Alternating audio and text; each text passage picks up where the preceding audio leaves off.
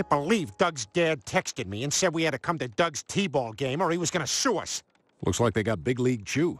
Yeah, I saw that. I saw they, they got Big League Chew. Ah, the baseball field. Good memories. Lost my V-card here with Jennifer Jason Leigh in that dugout right over there. That was fast times. Yeah, fast for her, maybe. I took a while.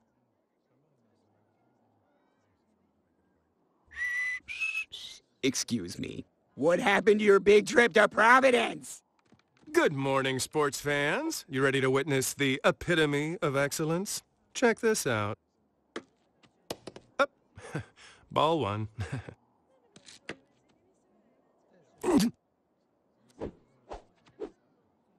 Look, Spaz, hold the bat like this and then step into it as you swing forward. I did it! Thanks, Mr. Griffin. I'm leaving. Come on, Chris. Don't be mad. My plans changed. Oh, hey, Doug. Are you kidding me?